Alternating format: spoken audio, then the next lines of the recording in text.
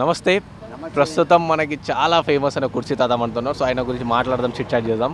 తాత నమస్తే కుర్చీ తాత. నమస్తే. మొన్నటిదాకా మంచిగా ఉన్నావు కదా నీకు ఇప్పుడు ఎందుకు ఇట్లా అయిపోయినావు మొత్తం ఆగమాగం జగన్నాథం? నా జీవితంలో నేను ఆగం ఎప్పుడు కాలే. ఎదుటోనికి టెన్షన్ ఇస్తాను నేను టెన్షన్ తీసుకోను. లే అంటే చూస్తే మొన్నటిదాకా మంచిగా స్టైల్ స్టైల్ బట్టలు వేసుకున్నావు అట్లున్నావు ఇట్లున్నావు. ఇప్పుడు అన్ని మార్చిపోయిన బట్టలు గిట్లున్నావు. ఓ టైం వస్తుంది బాబాయ్.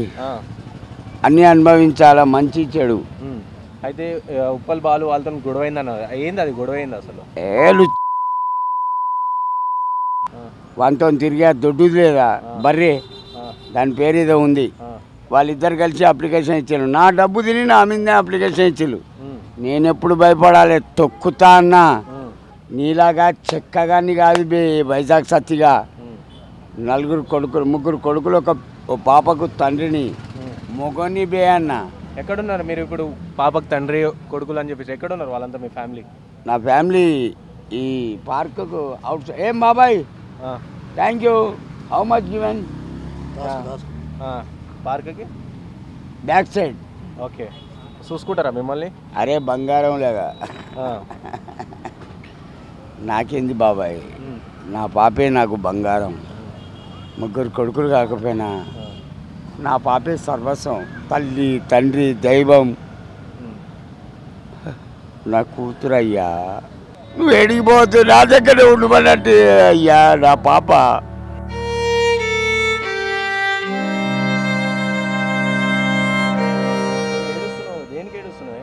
నా పాప జ్ఞాపకం వచ్చాయ్యా. వాళ్ళ హౌస్ కీపింగ్ జాబ్ చేసి ట్వెల్వ్ థౌజండ్ సంపాదించి నా దగ్గరనే ఉండు నాయన అంటది. మళ్ళీ ఉండొచ్చుగా ఎందుకు ఉంటలేవు ఇక్కడనే ఉంటున్నా కదా. ఏదో టైం పాస్ కిడికి వస్తా సాయంత్రం ఆరు ఏడు గంటలకి ఇంటికి పోతా. ఇవి కన్నీళ్ళు కాదు బాబాయ్. ఇది నా రక్తం. ముగ్గురు కొడుకులుండి బిడ్డ ఇంటికాడ రా నేను నా భార్య ఉంటున్నామండి. ఎట్లుంది? ఆర్థిక పరిస్థితి ఎట్లుంది మీది? నా ఆర్థిక పరిస్థితి ఫైన్ సార్. మీలాంటి వాళ్ళు షూటింగ్ ఇంటర్వ్యూ అని ఎంతో కొంత ఇస్తారు మీకు తోచింది. అయితే ఇప్పుడు ఎంతో కొంత ఇస్తారు ఆలీలు అని చెప్పేసి కొంతమంది ఏముందంటే వైజాగ్ సత్య వాళ్ళు ఏమంటారు అంటే వాళ్ళకి డబ్బులు ఇస్తే ఆయన ఎట్లా తిడతాడు అన్నట్టు. నీకు ఎట్లా అనిపిస్తున్నా? లేదు నా- సిన్సియారిటీ నీకు ఎట్లా అనిపిస్తుంది? నేను పిచ్చివాడిని కాదు బాబాయ్. ఎవరిని పడితే వాడిని తిట్టడానికి. ఇక్కడికి రమ్మను వాడికి ధైర్యం ఉంటే వైజాగ్ సత్తి కానీ ఉప్పర్ బాల్ కానీ ఉరికిచ్చి కొడతా. ఉరికిచ్చి రారా నా కొడక అని నిలబడతా. That is the my capacity బాబాయ్ ఒకటి చెప్తాను. ఒక్కడొస్తే నా రెండు చేతులు నలుగురు వస్తే నాకు టవల్ ఉంటుంది ఎప్పటికీ ఆడ పక్కన పెట్టిన. అందులో రెండు రౌతులు రెండు ముళ్ళు. సినిమా బిరబిరా ఉంటుంది. అంటే డైలాగ్ చేంజ్ ఇప్పుడేమో కుర్చీ మడత పెట్టి ఇప్పుడేమో సినిమా బీరా బీరా ఏందంటే కొత్త డైలాగ్ ఇప్పుడు మడత మంచం. ఆ. ఇగో ఇక్కడనే ఉన్నది. మంచం ముప్పై కిలోలు మడత పెట్టి నా కొడుకు అవుటే. మడత మంచం. నెక్స్ట్ అయితే మీ డైలాగ్ బాగా ఫేమస్ అయింది కదా కుర్చీ మడత పెట్టి. సో సినిమాలకు పోయారు అని. సో ఆ లైఫ్ కంటిన్యూ చేయకుండా మళ్ళీ ఎందుకు ఇంటికి వచ్చేసారు మీరు? ఒకటి బాగిన బాబాయ్. నేను ఎంత ఎత్తు ఎదిగినా ఈ అభిమానం కావాలా? ఆ పిల్లలకు పని లేదా? ఏం బాబు నీకు పని లేదా? అది నాకు ఈ అభిమానం కావాలా? అదే వాళ్ళు ఫ్యాన్ ఫ్యాన్ అంటారు ఎట్లా అనిపిస్తుంది మీకు అట్లా అంటే? Happy happy! ఈ అభిమానం కావాలి బాబాయ్. ఒకటి చెప్తేనండి నాలుగు కోట్ల పైన అభిమానులు. ఒక్కొక్క రూపాయి ఇచ్చినా ఒక రెండు నెలల లోపల ఆ బిల్డింగ్ కడతా. కానీ నాకు డబ్బులు ఆశలా. ఆశలా. ఈ అభిమానం కావాలి తాత. దేని ముందు మీకు ఎక్కువ ఆశ దేని మీద ఉంది? నా భార్య పిల్లల సంతోషం. నా భార్య పిల్లల సంతోషం అయ్యా. ముగ్గురు కొడుకుల తండ్రి today once beggar. Um. Beggar. So, beggar. ఒకటి చెప్పేదినండి నా కొడుకు పెద్ద కొడుకు మేడ్చల్ ఉంటాడు. ఒక్కసారి హైదరాబాద్ రా నిన్ను తొక్కుతే కసరెళ్ళాలి. గొడ్డు నా కొడక. పిల్లలు లేని గొడ్డు నీ భార్య పందిలాగుండి కోస్తే ఇక్కడ అందరు ఒక్కొక్క పావు కిలో కూర తింటారు నా కొడక. నా ఇరవై ఒక్క లక్ష ఇరవై రూపాయలు వేల రూపాయలు తీసుకొని నన్ను కొడతావురా? బడ్డు నా కొడక గొడ్డు సాలే. అమ్మ ఈ ఇంటికి వస్తే చెల్లె దగ్గర డబ్బులు తిన్నావు. దొంగ నా కొడుక. బంగారం ఎత్తుకపోయి అమ్మినావు నా కొడక ఇరుగా తీస్తా.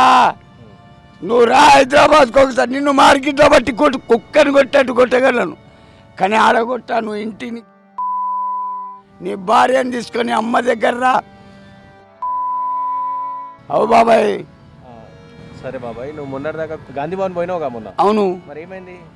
ఆడ సీఎంను కలవడానికి పోయిన ట్వంటీ సిక్స్ జనవరి. ఆ, సీఎంఏ రాలే Revanth Reddy. And others will be come. Happy మీ. ఒక్కసారి కలవాలే బాబాయ్. రేవంత్ నాకు ఇల్లు లేదు. నాకు కేవలం ఇల్లు కావాలి. క్యాష్ అవసరంలా క్యాష్ అవసరంలా నాకు ఇల్లు కావాలా? ఇల్లు నువ్వు ఇస్తే నేను పెన్షన్ రాపించుకుంటా ఇప్పటిదానికా పెన్షన్ రాపించుకోలే రేవంత్ రెడ్డి గారు. మీ అన్న దగ్గర పోయినా తిరుపతి రెడ్డి దగ్గరికి. నాకు విలువ ఇవ్వాలా? నాకు విలువ ఇవ్వాలా? మీకు ఇల్లు కావాలన్నారు సో ఇంతమంది కేసీఆర్ ప్రభుత్వం డబుల్ బెడ్రూమ్ ఇల్లు ఇచ్చారు సో మీకు రాలేదు అప్పుడు? రాలే బాబు. ఎందుకు రాలేదు? రాలేదంతే. అప్లికేషన్ ఇచ్చిన ఎన్నోసార్లు తిరిగినా పట్టించుకోలే. చూడదు. ఎట్లుంది అది? కాంగ్రెస్ ప్రభుత్వం మంచిగా ఇది బీఆర్ఎస్ ఒకటి బాగినండి బాబాయ్. చూద్దాం. ఇప్పటికి మూడు నెలలు కాల ఇంకో మూడు నెలలు టైం ఇచ్చి. ఓటే తూట.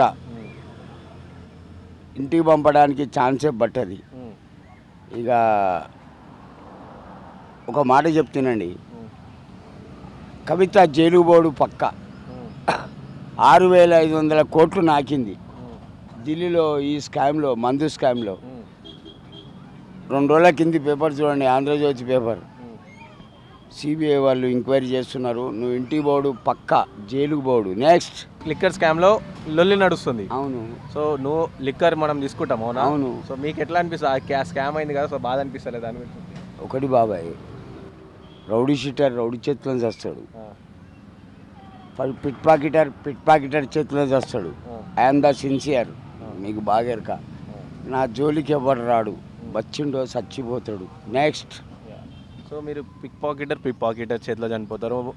రౌడీ రౌడీ షీటర్ చేల సో మీరు మందు తాగుతారు కదా? సో ఎట్లా ఏమైనా వస్తాయి అనుకుంటారా రోగాలు వీగాలు అట్లా?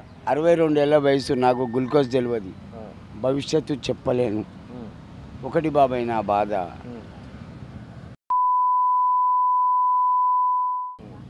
థర్టీ ఫస్ట్ డిసెంబర్ నాడు బాగా తాగొచ్చి నా బిడ్డను కొడుతుంటే ఏ తల్లి ఊకుంటుంది? ఇరుగా తీసిండు. కొడుకు పారిపోయి రాత్రి వచ్చిండు. మరి రెండు నెలలు ఎటు పోయినావు? ఉమ్. అడిగినావా రాత్రి వచ్చిండు. రెండు నెలలు ఎటు పోయినావు అని నేనే అడిగిన. నీకు బా కానీ మళ్ళా తలిగిచ్చిండు నాలుగు. మళ్ళీ దెంకపోయిండు నా కొడుకు.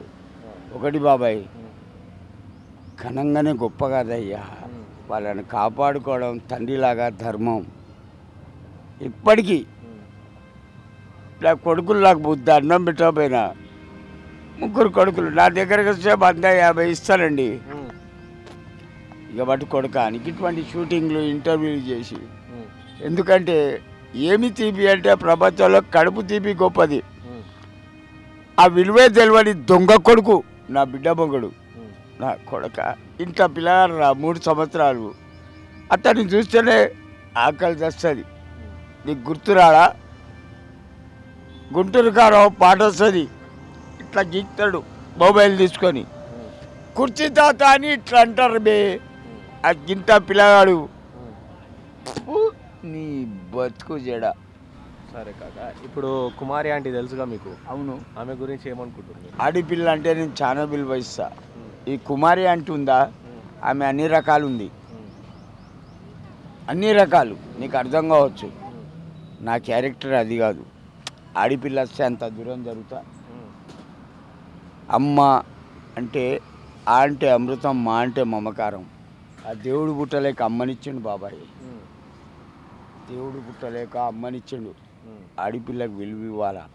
నా కండ్ల ముంగట ఎవడైనా ఆడిపిల్లను సతాయించిండు అనుకో బొక్కలిగదానిక కొడతా అది నా కెపాసిటీ బాబాయ్. నెక్స్ట్. ఇప్పుడు మీరు ఆడపిల్ల కనిపిస్తే బొక్కలు ఇరగదా కొడతా అన్నట్టు అంటారు అంటే ఆడపిల్లని సతాయించడం తెలుసు. సో పార్కులు అవి ఇట్లా అట్లా ఇట్లా అయితే కదా దాని గురించి ఇటును దాని షోకు దాంది వీడి షోకు వీడిది. నీ అభిప్రాయం ఇది నా అభిప్రాయం నాది. నీకు ఇష్టం ఉంటేనే మనతో వస్తావు దట్స్ ఇట్ సో ఇప్పుడు చూసుకుంటే ఇప్పుడు నెక్స్ట్ ఏపీ ఎలక్షన్లు వస్తున్నాయి కాక. సో ఎట్లా అంటే ఏపీలో ఎవరు గెలుస్తారు అనుకుంటారు మీరు? ఒకవేళ గెలిచినా మళ్ళీ చంద్రబాబు నాయుడే గెలవచ్చు. చంద్రబాబు లేడుగా? అతని కొడుకు లోకేష్ గెలవచ్చు. ఇప్పుడు పవన్ కళ్యాణ్ సపోర్ట్ ఉంది. పవన్ కళ్యాణ్కు వీర అభిమానులు ఉన్నారు అంతేందుకు లోకేష్ గారు కుర్చీ మడత పెడతా అన్నారు నా డైలాగ్ మీరు? హే హ్యాపీ ఒక రాజకీయ నాయకుడు కొడుకు సీఎం మూడు సంవత్సరాలైన ఆయన కొడుకు నా కుర్చీ మడత పెట్టినంటే happy Lokesh I'm happy. So ఫైనల్గా తెలంగాణ పబ్లిక్ ఏం చెప్తారు? ఒకటే బాబాయ్ ఎవరైనా సరే తెలంగాణ కానీ ఆంధ్ర కానీ మంచోని ఎన్నుకోండి. జనాలను కాపాడేవాడిని ఎన్నుకోండి. వాడు ఎవడైనా సరే జగన్ గారే కావచ్చు లేక చంద్రబాబు నాయుడే కావచ్చు లోకేషే కావచ్చు అనదర్స్ ఎనీథింగ్ నాకు వైఎస్ఆర్ అంటే వీర అభిమానం అండి. అతని వల్ల నా భార్య బతికింది బాబు. ఆరోగ్యశ్రీతోనా? యా నా భార్య బతికింది. నా ఇంట్లో పెద్ద ఫ్రేమే ఉంది అతనికి. రంజాన్ వస్తుంది ఏమైనా ప్రిపేర్ చేసుకుంటున్నావా నెక్స్ట్ అవునండి చేసుకోవాలి. అప్పటి వరకు డబ్బులు జమ చేయాలి. ఏమైనా పని చేద్దాం అనుకుంటురా ఒక అతను కూరగాయలు ఇప్పిస్తున్నాడు. అతను నిన్న రాలే. మరి ఇప్పుడు పోతా ఇక్కడనే. ఈ టర్నింగ్లో వర్క్షాప్ ఉంది కార్ది. ఇంకో అతను యూట్యూబ్ సొంతంగా ఇప్పిస్తున్నాడు? అతను లేడు. ఊరికి ఉమ్. ఇదే సమ్మక్కకు వచ్చినాక కలుస్తా. ఒకటి బాబాయ్ నా మంచితనమే వాళ్ళకు నా అభిమానమే నా మంచితనమే వాళ్ళకి ఇష్టం. నాకు లంగతనం లేదు అబద్ధం లేదు బాబాయ్. అబద్ధం లేదు.